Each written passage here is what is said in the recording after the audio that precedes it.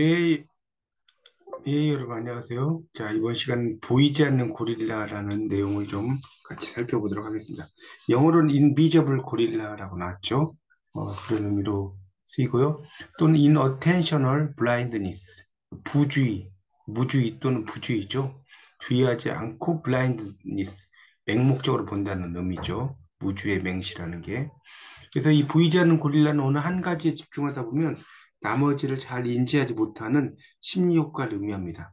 그래서 아는 만큼 보이고 관심 있는 것만큼 보인다 이런 이야기인데 이 미국의 심리학자인 크리스토퍼 차브리스와 어, 데니얼 사이먼스가 인간의 주의력과 관련해 실어, 실행한 보이지 않는 고릴라 시험에서 유래했습니다. 이 실험은 흰 셔츠와 검은 셔츠를 나눠 입은 학생들이 농구공을 주고받는 영상을 보면서 흰 셔츠를 입은 학생들의 패스 횟수를 세도록 하는데 사실 이 실험의 목적은 영상의 중간에 고릴라 분장을 한 사람을 보았는지 여부였습니다. 실험이 끝나면 화면 속에서 고릴라를 보았느냐는 질문에 50%가 보지 못했다고 답한다라고 했죠. 참가자들은 흰 셔츠 학생의 패스횟수를 셌는데 정신을 집중하는 바람에 화면 속에서 어슬렁거리는 고릴라를 놀랍게도 인식하지 못한다라고 합니다. 그래서 인간은 동시에 여러 가지 일을 할 수 있다고 착각하지만 우리의 뇌는 멀티태스킹, 그러니까 여러 가지의 다양한 일을 할 수 없다는 것이 실험의 결론이고, 자, 이것을 이제 우리가 무주의 맹시라고도 한다는 내용입니다.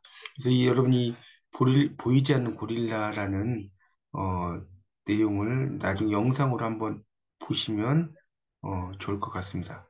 이게 이제 영상의 내용인데 이렇게 농구공을 이렇게 패스를 하는데 고릴라 왔다 갔다 이렇게 하죠. 고릴라 복장을 한 사람이 그거를 볼 수가 없는 한 곳에 집중하다 보니까 자 그런 것을 이제 보이지 않는 고릴라라고 합니다. 유튜브에서 이 영상은 찾아보시면 어, 다 나와 있으니까요. 유튜브에서 한번 보이지 않는 고릴라를 한번 검색을 해보시고요. 어, 한 가지 집중을 하는 거. 그래서 결국은 내가 듣고 본 것이 정말 내가 듣고 본 것이 정말 진실일까? 이런 거죠. 그리고 이 사람들은 그 보고 싶고 듣고 싶은 것만 보고 듣고 싶은 것만 듣죠. 그래서 늘 하던 대로 보고 싶은 것만 하면 이 변화를 얻을 수가 없습니다. 이걸 이런 걸 이제 우리가 패러다임의 전환이라고도 하죠. 우리가 음, 코,